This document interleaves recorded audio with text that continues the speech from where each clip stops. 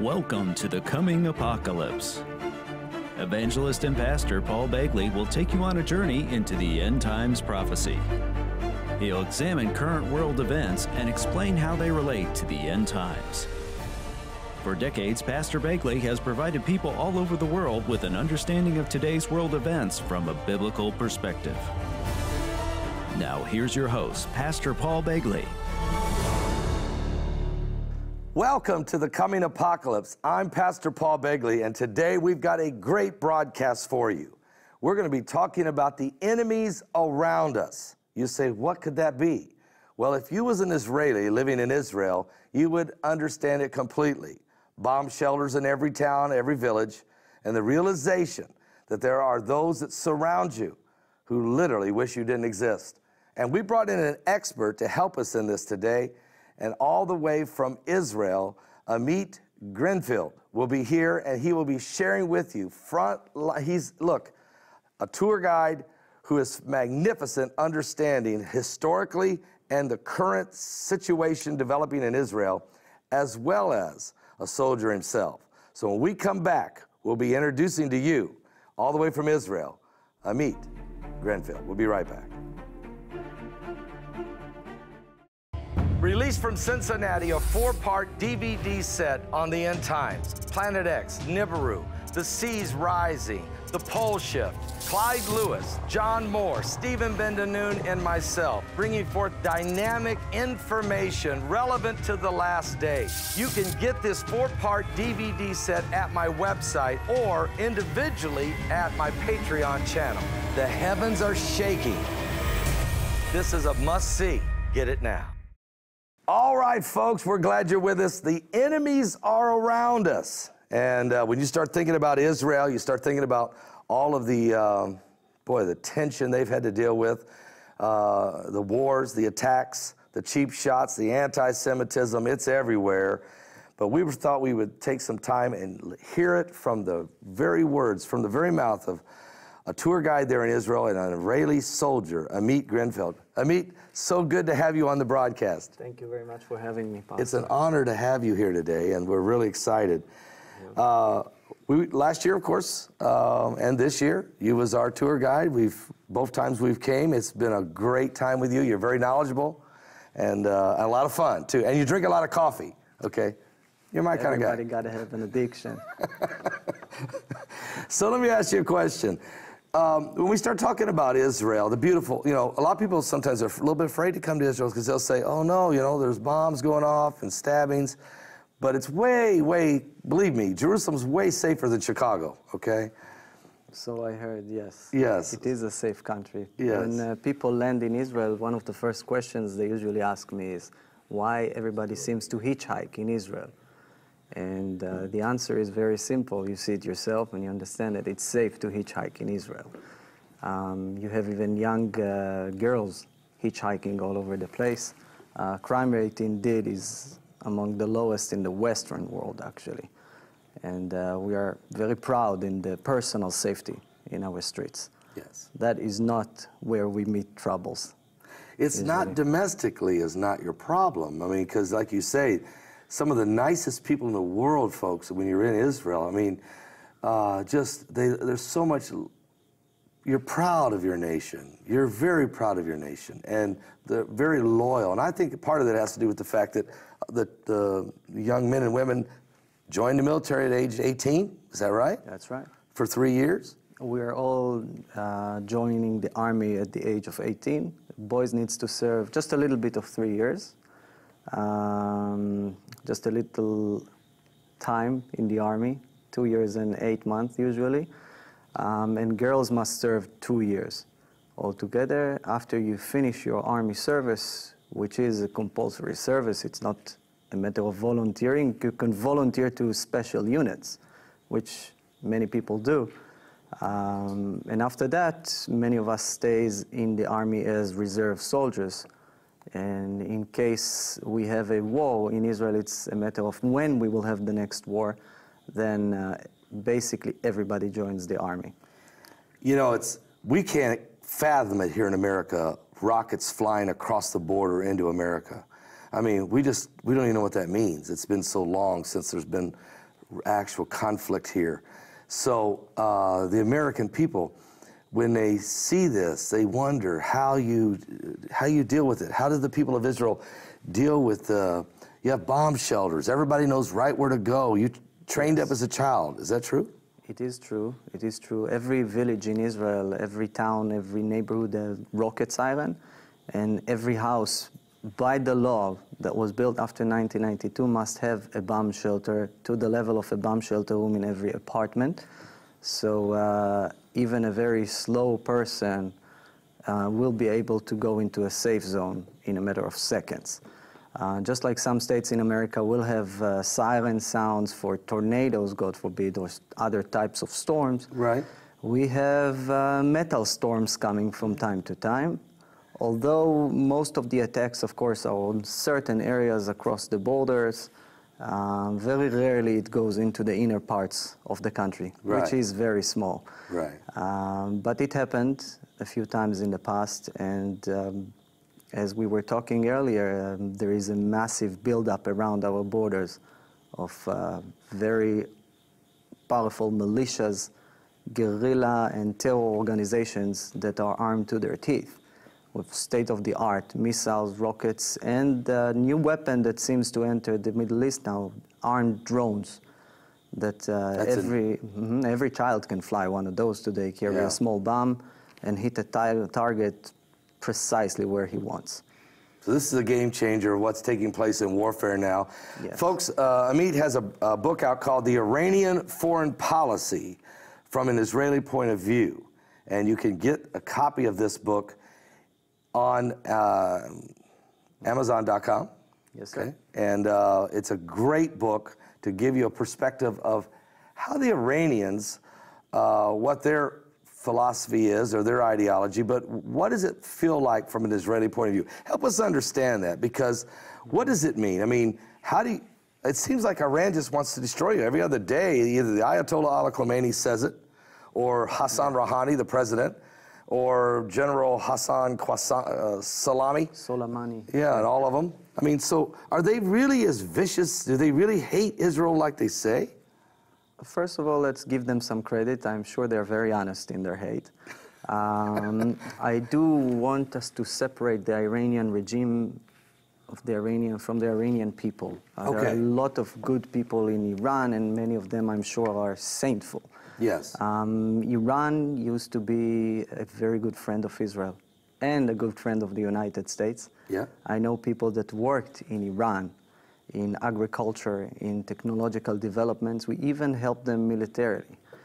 that was all during the Shah of Iran. That's That before the revolution. During the Shah. Right. After the revolution, Iran became a vicious enemy. And almost from day one, even during the terrible Iran Iraq war, Yes. that uh, squeezed their resources and they bled so hard, even during those years, they started supporting guerrilla warfare against Israel, which shows you that it is a very high priority for them.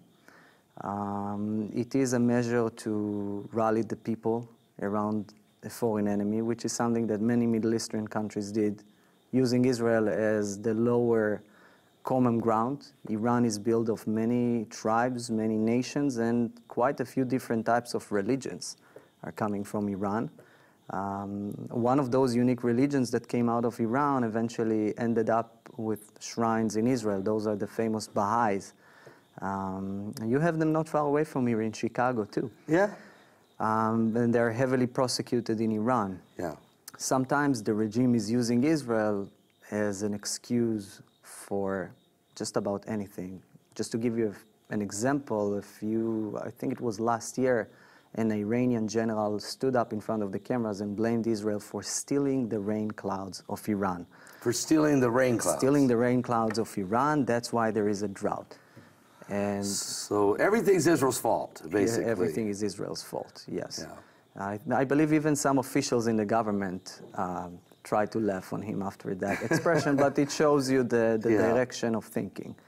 Um, the thing is that, except uh, blaming us in every problem, uh, they are in putting billions of dollars, billions of dollars that nowadays it seems that they desperately need elsewhere, and feed up fuel up and arms militias all over Israel. In this uh, short book, I'm trying to provide a geographical overview of the Iranian presence in the Middle East. Well, it's not, as, okay, uh, now if we take a look at the situation, we realize that there's Hamas in Gaza. They are funded uh, basically by the Iranian regime. By many, many different um, Islamic organizations too. Uh, Iran is subsidizing Hamas partly, but they're also building up another terror army called the Islamic Jihad. Yes, and right have, there in Gaza. They have no problem that they are radical Shiites and those are radical Sunnis in Gaza. If it comes to Israel, they will work together. So, as much as uh, Sunnis and Shiites don't like to get along, they'll get along if, if, they have a common enemy, and that being Israel. So in the Gaza case, they work with Sunnis. In Syria, they murder Sunnis yeah. every day using Shia, um, literally armed gangs that they brought yeah. from all over the Shia world. People that are so desperate that they are willing to fight, to kill, and to die for ridiculous salaries of 200 to 300 dollars a month, sometimes a little more. Right. And um, it is just amazing to see how flexible the Iranian regime is and how much of an oiled machine they build there. Well, you look at the proxies they have. Now they have uh, Hezbollah in southern Lebanon. That's the okay. strongest one. And they have the Houthis in Yemen. Um, right. They ha- they're working with President Bashir al-Assad in Syria. They are. They, they're pretty much what keeps him alive. Right. Over there. But but then there's this weird thing I'm I'm still struggling with is Russia. Mm-hmm. Okay, because how many Russian Jews live in Israel? More than a million. Okay. And um, and yet the Russians are uh, giving uh, safe passage to the uh, Syrians and the Iranians as they're smuggling precision rockets across Syria into Hezbollah. Am I right? To Lebanon, yes. And uh, right? It's amazing because in some aspects, Iran and Russia sees each other as competitors and rivals. I don't know if enemies, but rivals. Rivals, absolutely. Um, in the Caspian Sea, for example, there are lots of disputed uh, areas between them. Yet they work together to keep Assad alive. Absolutely. And they share no mutual um, ideology to really speak of, except interests. Yes. Just dry, cynical interests. Yes. And, and uh, part of that interest is the Holy Land. There's no question. And, and when, I, when I take a look at uh, uh, Israel, I realize that the nation of Israel, and when I look in the Bible, okay, if I go to Ezekiel 38, I find Russia, Turkey, Iran, Persia, uh, involved in a prophesied war to, to come up against Israel at some point, Ezekiel 38 and 39. Does that ever, when you guys are, uh, you know, you're, you're, you're still in the army, and uh, I remember just wasn't long ago, you were just uh, uh, deployed again. I'm not sure exactly where you had to go, but you were involved. And does that ever cross your mind does it cross the mind of the average Israeli soldier the prophecies of Ezekiel 38 and 39? Don't answer that till we come right back. Folks, we'll be right back in just a minute. We're going to find out. I got to get into the mind of the Israeli soldier, just what they think, okay, from a biblical perspective. We'll see in just a moment. A brand new DVD set on the signs of his coming. We took a very extensive look at the prophecies in the book of Matthew, chapter 24, and how they play out across the Bible. The signs of his coming takes a strong look at the comparison of the days of Noah to the coming of Jesus Christ. Are you ready for the signs and do you understand he's coming soon? Get it at my website right now.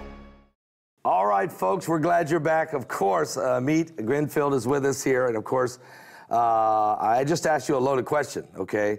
Uh, what is the soldiers, the Israeli soldiers, do they think about prophecy at all? I mean, uh, the Bible, the Torah, the prophets, so important to the uh, nation of Israel.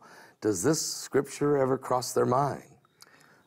I believe that we do understand that we live inside an amazing time. Um, we have a very long collective memory and lots of promises and lots of Jewish generations out there all over the world pray to return to the country. And I believe that the, an average Israeli do understand um, that we are coming back from the four corners of the world. Um, just do a DNA test on me. I'm a little bit Brazilian Jewish, a little bit Romanian Jewish, a little bit Lithuanian Jewish. All right. There is some Russian background too, Okay. and the Greenfeld family has some uh, Austrian origins. Actually, Okay. that's how it came.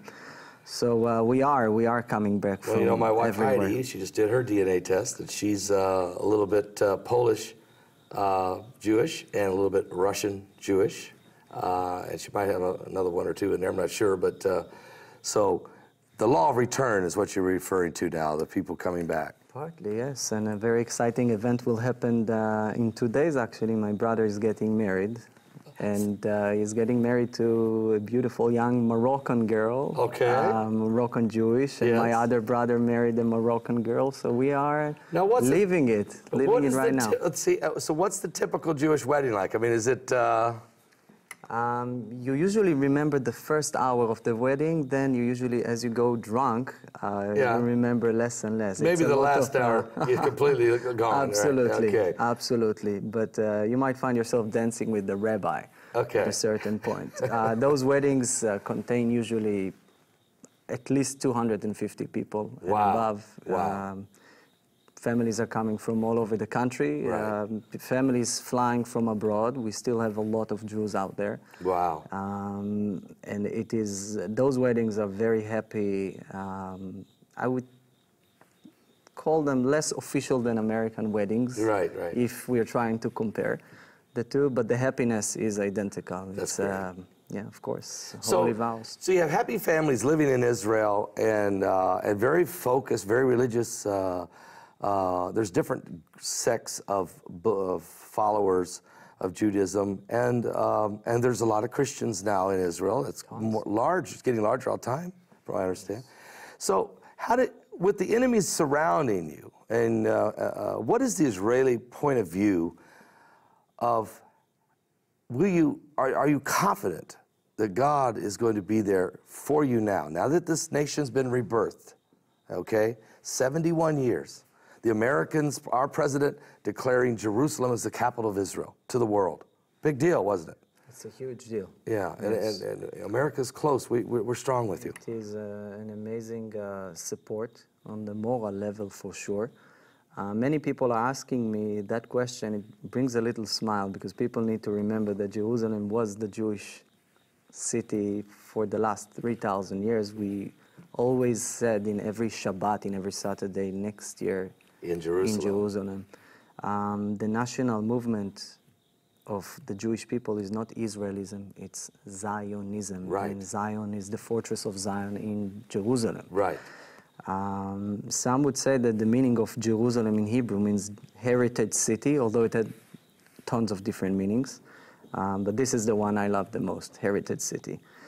Um, and what your president did is indeed a very important declaration. Um, people should talk about things and not ignore facts. right That is for sure. Um, and a few nations already followed the American one and moved their embassies um, to Jerusalem, and others are slowly moving parts of their embassies. It's- it's a step by step. It is a gradual for the simple Israeli. Um, it, it is just this rare feeling that we don't have usually in history that we're being supported, truly. Right. How important is the rebuilding of the third temple to the average Israeli? How important? That's a good question. Um, the average Israeli on an average day does not even think about that. Uh, our daily life, our daily life, just, Just trying like to yours. survive. Of course, yeah. trying to survive. Thanks God, not only to survive, but take the kids to a vacation. And uh, I mean, Israel is doing pretty good in the last couple of years. Um, if an average Israeli think about the third temple, that's actually a matter of dispute inside the Jewish rabbis for centuries. Uh, Most of the rabbis actually believe and preach that even going up to visit Temple Mount is forbidden until the Messiah will come Ah. and build the third temple for the Jewish people. So there's a percentage of rabbis who are saying, let's not worry about this. When Messiah comes, he'll build it. And there's Absolutely. and then there's another group of rabbis who are saying we got to build it so Messiah will come. It is a small group. Okay. It is a small group, very sound, but uh, a very small group. Yeah. Mo- most of the Israelis are fine with the fact that we can go and pray as free people next to the Western Wall. Right. And, um, you know, celebrate the Bar Mitzvah in the Jewish quarter and then finish Right. at the Western Wall. I think that's enough for most of our people. Um, the Jewish nation moved centuries ago from being focused in the temple in focus in the Bible. Yeah. And I found that out when I met with Rabbi Yehuda Glick. Okay, even though he is a, a really a leading proponent to the building of the third temple, and he was in the Knesset.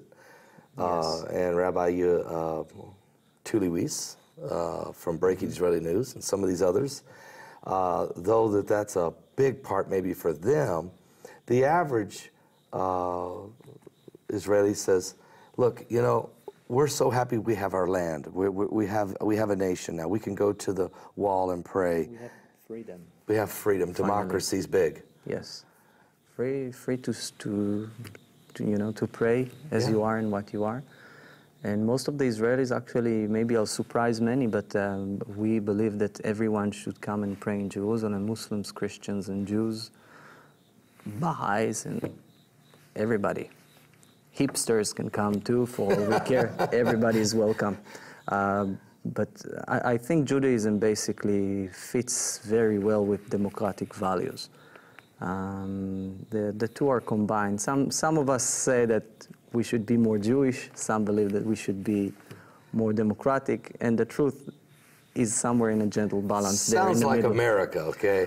Has a similar, like similar, similar problem. We have the right wing conservatives and we have the left leaning liberals, and then somewhere in the middle is the folks that say, can we just have a little bit of both, you know? Uh, but overall, I think that's kind of how people are in generally. Absolutely. But you have a dynamic that no other nation has, and that is a constant threat. Look, and we're going to talk about this in our next broadcast. We're going to go to the 1967 and the Six Day War because you, you, you've just written a great book on that. But the fact that every day your nation has to stay on alert. You have, you've got the Iron Dome that has to shoot down the incoming rockets. You have to have people ready and trained and, and, and uh, at all times. Yet you don't live in fear, do you? No, not really. Sometimes when there is a state of emergency, then there are some fearful thoughts. Uh, you're usually more afraid of uh, what am I going to do with my kids now, Right. or what my wife will do with them when I'm in the army and she needs to take care of the three of them while school is off and canceled. Right. Um, I don't think I fear for the very existence of Israel. No. And you shouldn't. According to the scriptures, you shouldn't. At this point in time, prophecy, I believe, is certainly the, the rebirth of Israel as a, as a nation was uh, prophesied in Ezekiel 37 with the dry bones. And they've come back together, you know, and now the nation is thriving. And, um, and I think uh, we're moving into the next phase of biblical prophecy. And it's an exciting time to watch what's going on. But at the same time, that does include at some point, uh, again, you're going to deal with another uh, invasion, as, as according to the prophets of the Bible, similar to 67. But again, God is going to look after uh, the nation of Israel. I have no confidence. I have total confidence in that. We'll be right back, folks. Just a minute with the meat. A brand new book I've just finished called Reflections from the Land of the Prophets. This book is filled with beautiful pictures, a pictorial, if you will, of the Holy Land, and some definite great insight to the prophets that once spoke mightily in the times leading us up to the present. It's a prophetic word, a reflection of what God has spoken, not only historically from the past, but for the future. Go to my website, it's available now. All right, all right. Amit Grinfield's with us. Again, his book, The Iranian Foreign Policy. Look at it from the view of an Israeli. Hey, what you said, maybe I should look in my backyard during the break, Venezuela. Uh, why are you saying that? Why, why do I need to look in my backyard? Because there is a lot of Iranian activity in Venezuela. Um, they're even talking about uh, an attempt to convert people in Venezuela into Shia Islam. Uh, Venezuela and parts of uh, Latin America are used by Iranians as a huge area which they can smuggle goods into Iran. Uh, the sanctions that America puts on them for so many years works, but there are ways to pass at least parts of them and to relieve the pressure just a little bit. Um, Hezbollah, which is a tight Iranian proxy, for example, smuggles drugs, um, cigarettes, even parts of vehicles and cars. Um, wherever that can work, can work. Uh, terror and crime, if you'll ask me to begin with, they're the same thing. Yes. But uh, sometimes they cooperate together. So you actually have different horrible cartels. Um, in the case of Venezuela, it is literally open relationship between Iran and their president, their very Yeah. unpopular president, Mr. I was just looking at the picture you have right in here of Nicolas Maduro and uh, Iranian President Hassan Rouhani shaking hands with each other. Shaking hands. You know, we're worried here in the United States uh, about our southern border uh, for several reasons. Uh, one is the fact that uh, radical uh, Shiites could come up through the bo- southern border of Mexico into America. We've already been catching some of them. So, and they're coming out of Venezuela. So there's uh, apparently there's a um, some of the terrorists coming out of the Middle East are winding up in Venezuela and then working their way up through Central America That's a possibility. through the Mexican border. So they're using the huge human tragedy over there. Uh, that's for sure. And uh, so, again, America needs to wake up and realize that, um, you know, we are vulnerable. We may not think so, but we, you think we would understand that. But we, at times, I think that because so many years pass where there's no major conflict, that people get so uh, complacent, you know, and they don't watch what's going on. Where in Israel, you stay on top of your game all the time, and because of it, it's I feel extremely safe. I feel safer in Israel than anywhere else I go. I'll be honest. I just I just walk anywhere I want, and I'm not worried. I think the fact that our eyes are open uh, makes us a bit more self-confident, but it is um, scary when you think about it. They are closing on us from Lebanon, from Syria. Uh, they're knocking on the Jordanian door as well. Um, they're using the Sinai Desert, which is our south border, as a, a highway for smuggling weapons into terrorists in Gaza, if it's Hamas, mainly the Islamic Jihad. Uh, you will find them active in Yemen, in Iraq, in Afghanistan as well, in Morocco. They got all the way to Morocco to support uh, a guerrilla warfare against the king. Folks, Amit Grinfield, his book, you can find it on Amazon.com.